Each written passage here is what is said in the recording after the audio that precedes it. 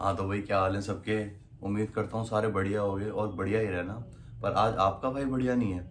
मेरे को ज़ुकाम है, मेरे गला ख़राब है और चेस्ट में हल्का हल्का ड्राइनेस फील हो रहा है सर्दी की वजह से। आज साल का आखिरी दिन है। आज ये सब चल जाएगा, लेकिन कल साल का पहला दिन है। तो कल अगर ये चीज़ रही तो फिर अच्छा नहीं लगेगा।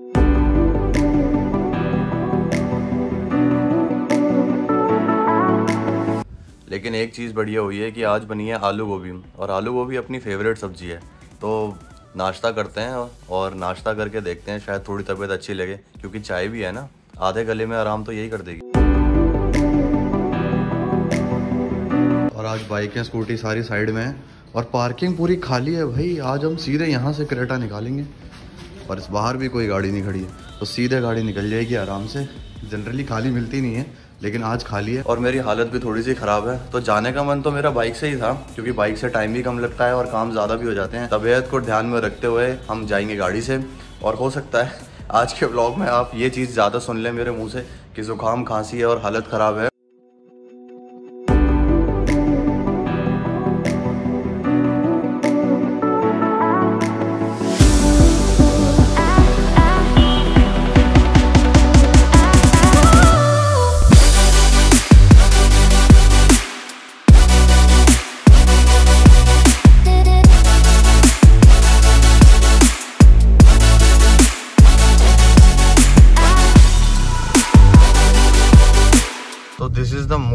डेंजरस रोड मतलब जिससे मैं जाता हूँ डेली क्योंकि इसमें सामने से भी गाड़ियाँ आती हैं ना, ये एक ही रोड है और इसी पे ही गाड़ियाँ जाती भी हैं और इससे वापस भी आती हैं। तो ये बड़ा डेंजरस है और रात को तो बड़ा रिस्की हो जाता है ये, क्योंकि सामने से जब गाड़ियाँ आती हैं तो उनकी लाइट्स आँखों में पड़ती है। रास्ते तो और भी हैं जाने के मतलब दो रास्ते और भी हैं जाने के जिससे मैं जा सकता हूँ, लेकिन भाई को खतरों से खेलने की आदत है। भाई आपका खतरों का खिलाड़ी है।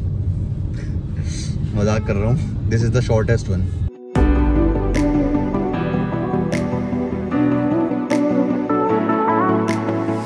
मैं ऐसे ड्राइव कर रहा था तो मेरे को एक बड़ी फनी सी चीज़ याद आ गई। मेरी एक वीडियो थी जो मैंने अभी अपलोड करी थी, अगर आपने देखी हो या याद होगा, आपको याद होगा न्यू क्रेटा ठोक दी ये वाली वीडियो मैंने अपलोड करी थी, गाड़ी में आगे जो लेफ़्ट साइड में डेंट पड़ गया था और स्क्रैच लग गया था हल्का सा, जिसपे मैंने पेंट कराया था, उसका पूरा ब्लॉग है। आई बटन में लिंक दे दूँगा, यहाँ पर अपना जाकर आप पहले उसे देखना। लेकिन पहले इस वाली वीडियो को देखना, फिर जाके देखना। तो उस वाली वीडियो पे मेरा एक फ्रेंड है मतलब one of my childhood friend उसने मुझे कमेंट किया है कि 800 भी घर पे ही ठोकी थी। मैंने सोचा आप लोगों से शेयर करता हूँ वो स्टोरी मेरे फादर जो हैं, उनकी पोस्टिंग होती रहती है जगह जगह तो जब हम आगरा में थे तो आगरा में मतलब मैं हूँगा कुछ सिक्स सेवन्थ क्लास में। तो सिक्स सेवन्थ क्लास में जब मैं था तो मेरे अंदर बड़ा क्रेज था कि बाइक या कार सीखनी है कैसे भी करके। तो जिस दिन पापा कार ले जाते थे ऑफ़िस उस दिन मैं बाइक निकाल लेता था और बाइक चलाता था। मतलब कॉलोनी के अंदर ही चलाता था। और बड़ा रिस्की भी होता था। मतलब कोई बंदा ऐसा नहीं है जिसने मेरे को सिखाई हो। मैंने खुद बाइक चलानी सीखी थी। मैं थोड़ा सा कम डरता था चलाने से, क्योंकि जब तक गिरे ना हो ना, जब तक आपको पता नहीं होता चोट लगी कितनी है और कैसे लगती है, दर्द क्या होता है। तो और अच्छी बात है कि मैं गिरा भी नहीं। चलाते टाइम सीख गया था काफ़ी अच्छे। धीरे धीरे करके पता तो था ही गेयर वेयर कैसे डलते हैं। तो चलानी सीख गया मैं। तो बाइक तो फिर और जिस दिन पापा बाइक ले जाते थे, उस दिन कार खड़ी रहती थी घर पे। तो भाई ये क्या करता था आपका?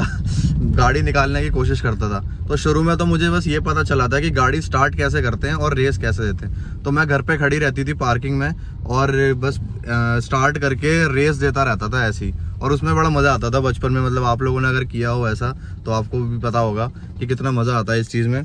तो मैं स्टार्ट करके ऐसी रेस देता रहता था। एक दिन मेरे अंदर पता नहीं क्या खुजली हुई। मैंने कहा, आज इसको पार्किंग से बस बाहर निकालते हैं और फिर दोबारा अंदर कर देंगे, क्योंकि कॉलोनी में तो मैं चलाऊँगा नहीं अंकल लोग, पापा को कवर कर देंगे और फिर मेरी रात को वाट लगने वाली है। तो मैं सोचा, बाहर निकालते हैं। तो भाई की हालत खराब है आज। तो मैंने क्या करा स्टार्ट करी।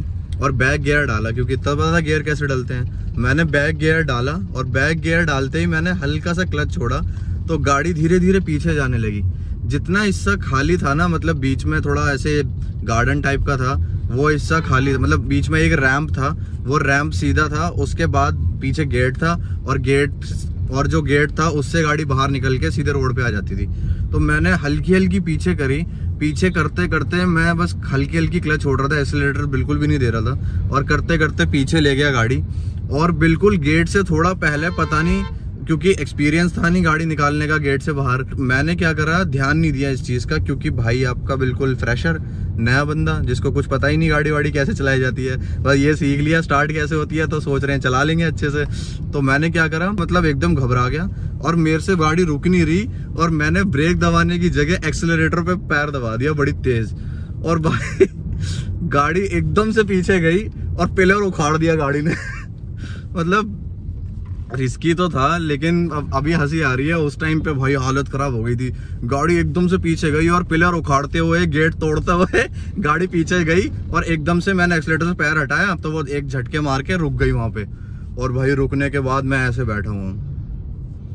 मेरे को पता चल गया था। मैं अब मेरी हालत खराब होने वाली है। अब कोई आएगा और पहले मुझे सुनाएगा, फिर मम्मी को बुलाएगा, फिर मम्मी मुझे सुनाएँगी, फिर रात को पापा मतलब गंदा सीन होने वाला है। लेकिन अच्छी बात है घर वालों ने किसी ने कुछ नहीं कहा। उस टाइम हमारे पास थी मारुति सुजुकी 800 वाइट कलर की, और भाई क्या ही सीन था वो।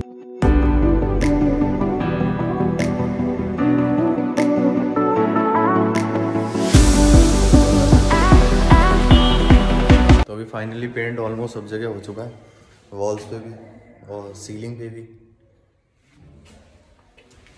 बढ़िया लग रहा है ना? ये भी सीलिंग ऑलमोस्ट सारी हो ही गई वॉल्स पे भी करा दिया। लाइट ही रखा है, हमने ज़्यादा डार्क करा ही नहीं है। क्योंकि डार्क रहता है तो अंधेरा अंधेरा सा लगने लगता है ना, और ये तो घर भी ऐसा है कि रोशनी हर जगह से आती है। तो इसी वजह से लाइट ही कलर रखा है सब जगह, और पेंट ऑलमोस्ट सब जगह हो गया।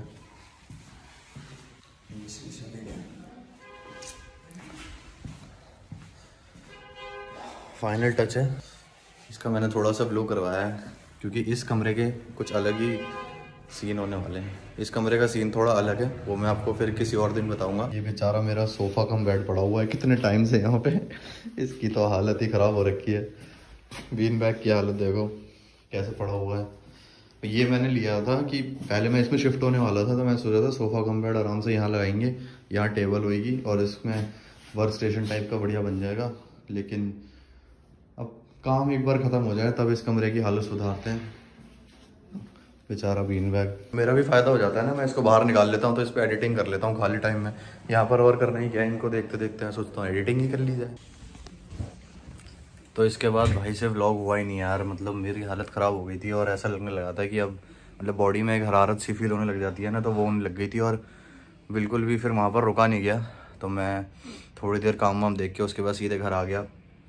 और अभी भी थोड़ा सा मतलब गला ख़राब है और मतलब ऐसा लग रहा है कि शायद रात को बुखार आ जाए, ना हो तो अच्छा ही है finger cross by the way happy new year to every और 2022 आने वाला है और देखते हैं 2022 कैसा जाता है। ज़्यादा व्लॉग भी नहीं कर पा रहा हूँ मैं तो एंड करते हैं इसको। अगर पसंद आए तो यार लाइक कर देना। मिलते हैं फिर अगले ब्लॉग में।